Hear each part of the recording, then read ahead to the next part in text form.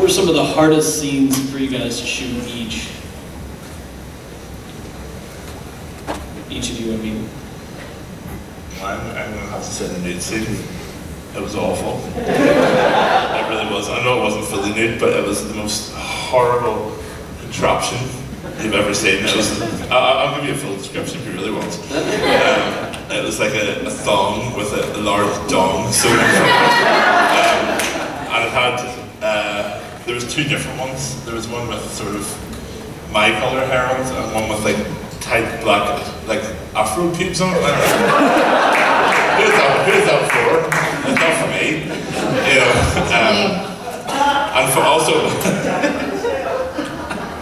funny enough, the first time I ever saw it was Richard Madden, who played Robb Stark. He was actually wearing it and running, running around the car park. But uh, yeah, I had to go into this, this grassy knoll, and it was raining, and I was told it was going to be a closed set, but it wasn't. There was like 200 people there. And,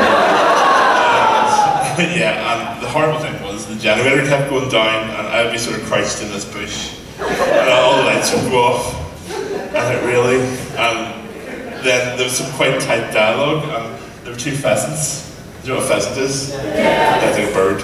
And um, there was one on either side of the set, and they were like mating calling each other, and like Natalia, would be trying to do her line, and I'd be sort of emerging from the bush, and I'd just hear this. Reset over. Please just let me go home. yeah, but you know, after 150 times emerging from a bush, um, yeah, you sort of develop quite a thick skin. yeah, I'm glad I did it. It was free. Did you keep it?